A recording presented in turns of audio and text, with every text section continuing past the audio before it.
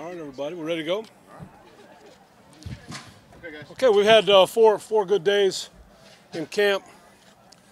Guys came in uh, really in pretty good shape for what you can do in the off season. Now we need to get we need to get in football shape, but uh, team's ready to work. Uh, I thought today was just okay. Um, a little a little sloppy, ball on the ground a little too much. Some uh, some offsides issues, but uh, you know, day four of camp, and uh, uh, so we're so far away from where we need to be. So much work needs to get accomplished between now and the time we break camp. It's just it's another day. All right, so um, we'll be off tomorrow and then back at it on Thursday and uh, ready to get ready to get back, after these guys. Uh, I know we had uh, good news for Gareon yesterday. Uh, that was pretty much anticipated by us. So I'm just happy we can now turn our full attention toward football, and I know he's relieved. And um, you know, I know you're going to ask the question about Donald, and I'm going to focus on the guys that are here. I spoke enough on it last week, or four days ago, five days ago. So um, I don't really have much to add to that. So questions? What do you think about the fact that you, your defensive coordinator, and your GM all played middle linebacker in the NFL, yet that's a position that kind of a team has two will start Yeah, I guess uh, you know, maybe I can talk Reggie out of retirement. I don't know. Um, you know, it's uh, you work you work to put a football team together, and um, I think we've, in a strong way, addressed a lot of different positions. We really haven't really haven't had attacked that one the same way. That's not to say we won't, or that uh, it's just you can only do so much each year, and that's just the way it's worked out. We've got a collection of young guys right now that are eager. Uh, they're they're learning, they're developing, and you know we're going to work with these guys, and we'll find out. But uh, I think the fact that we you know have identified know, really good edge people like Khalil and Bruce, I think it starts there. I think you work with corners and guys that can cover in the secondary, and we've identified some of that. And I think you know linebacker is also on that list. that just maybe hasn't got checked off the same way other positions have yet. Jackie, how, how do you combine the two elements of building on with confidence of what you guys accomplished last year, but then assuming nothing as you come into camp this year? Yeah, I think you know. First of all, you know, good or bad, what happened in the past is, is left in the past. I think for us, each year you have to come in and reestablish who you are, uh, the things you believe in, learn how to sacrifice, get yourself in shape, and it's not just physical conditioning; it's mental, emotional conditioning, and um, that's what we're here to do. You know, we're working hard at it. Um, you know, we're just getting started here in camp. It's it's very early in camp. We've got a long way to go, but uh, I like the spirit of this football team. We've got we've got a good group of men, and um, and, and we know we've got a lot of work in front of us. You, you, uh, you say you won't talk about him specifically, but in your experience, are there certain positions that you don't want anyone missing time but could miss time more than others? Certain guys that you would be okay in missing time, or you, are there positions that you need right away to be in? Um, I'm going to focus on coaching the guys that are here. Yeah. What have you seen from uh, Shilique as far as growth from year one to year two? Is he Yeah. making a jump at all? Yeah, I think Shilique. Um, I think he's you know a good young player that is being asked to do a lot more right now with Bruce. You know, uh, working his way back, and so he's getting a lot of lot of exposure and experience right now. Obviously, um, the, all the all the experience of last year. You know, you build on that as well. So I think I think guys like you know Karl Joseph, Jihad Ward. Uh, you know, Shilique. I think those guys all benefit from now having a little, a little experience, a little wisdom. Can you uh, give me your thoughts on James Cowser, what he's like as a football player, a guy, Yeah. your experience with him? Yeah, James is really, you know, really one of the, you know, smarter football players out here. I mean, he's, he's very instinctive. He's got a natural feel for pass rush. You know, I like him. I mean, he's he's a he's a guy that works hard every day. You can count on him. Very dependable. see Jelani Jenkins as a guy that maybe can step in and do some of the things that Malcolm Smith did for you the last couple of years? That's that's the hope. Yeah. You know, um, yeah. So I think you know Jelani, you know, adding him uh, for the will position, uh, give us some uh, veteran presence there, and uh, that's what he's getting every opportunity to do. When it comes to Marquel, Jack, how steep is that learning curve for a, a fifth round rookie, especially to come in there and, and be the guy in the middle, the quarterback of the defense when he's a rookie? Well, you know, um, some guys are natural leaders. Some some guys uh, are intelligent enough to handle all that. We'll figure that out as we go through camp.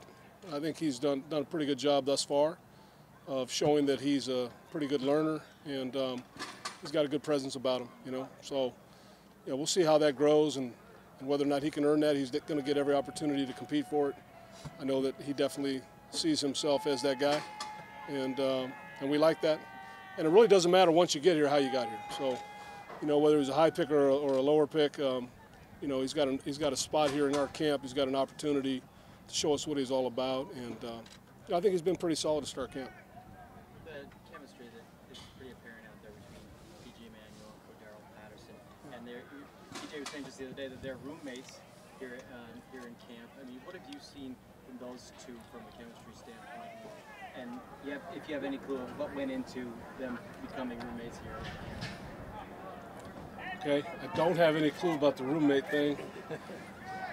Um, I think, you know, looking at EJ and um, him coming here, Cordarrelle, him, him coming here, I think obviously there were two guys that we felt could upgrade us at those positions. Cordarrelle with his tremendous explosiveness, his returnability, and the fact that we feel like there's still a lot more to develop there from a receiver standpoint, potentially doing some other things with him. Uh, and then with EJ, um, you know, he, he had a relationship with Todd before. You know, he was selected high in the draft before. He doesn't carry all that burden with him. He just comes in here with a chance to compete and develop, not worry about all that other stuff, and just think about growing every day as a player. The fact that the two of them are coming together and spending time getting on the same page is great, but it's not the main thing for me because, you know, we want all our guys to kind of grow and, and build relationships. So um, I'm happy that's the case. I'm happy we have both of them. See Karl Joseph uh, put a whole off season in, and then stack a few practices together, and then uh, every day we're here, it's like the last guy out of that field house working and doing extra stuff. Yeah. What, what do you expect to see from him based on uh, last year with the knee? It seemed like he never really got to hit his stride the way he would have liked. Yeah, I think I think you're saying it exactly right. I think we're seeing the same things. I mean, he's he's a tireless worker. Um, there's no shortage of energy for him and a desire for him to want to improve and, and become a really good football player.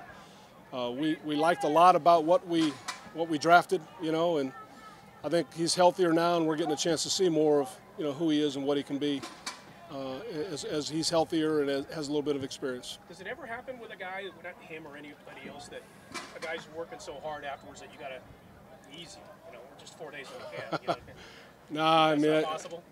I mean, I suppose it could be, but uh, that's rare. that's rare. We, we keep a good eye on him, so we're not going to let him go too far. Guys have pretty good depth at receiver. Um, at the bottom of that, um, Mickens and Plant, what are you seeing those guys so far? Well, they've been they've been really strong throughout this offseason. I think uh, you know both KJ and and Jaydon, um, obviously being with us last year on the practice squad, developmental squad, and developing, and um, a little different in how they do it. Uh, Jaydon, a smaller, quicker guy with some returnability, and uh, and KJ, a bigger guy, uh, and uh, and able to get in there and do some some of the blocking and things we some of the dirty work we ask our receivers to do. So, but they're both doing a great job. You know, they're both both in the mix. We have a we have a good solid group, good solid group of wideouts, and much like any, everywhere on our roster, we're going to let these guys compete and let it play out. Considering how you have to rebuild your special teams with all the players that, Yeah. that you lost, how big is, uh, is Holton fit, fit into your plans in terms of assuming he can build on what he did last year? Yeah, it'd be natural for for him to expand his role a little bit, take some of the experience he had last year, and uh, help us make an even bigger impact on special teams as well as invo- being involved in the offense. So that's the that's the next step for him. That's the that's the progression we're looking to see. Know you mentioned that you're only four days in, but today was just okay. Yeah. Given the spirit of this team, is that a little disappointing or kind of on par with what you anticipated? Well, it's not it's not good enough. Not good enough. That's all. That's all. I explained it to our guys. It's not not what we need to do. We need to come out and practice crisper, sharper, cleaner uh, football. But it's one day, and just like if it's one period, you, you learn a lesson. I'm, I always shoot straight with our guys. Uh, don't always share it with you, but just gave you a little synopsis from what, what just happened. Injury question. Do you expect Damari back on Thursday? or- Injury. I I gotta Come on, you know how I am on injuries. Him out there. We'll see. We'll see. All right. All right. Thank you. Appreciate it.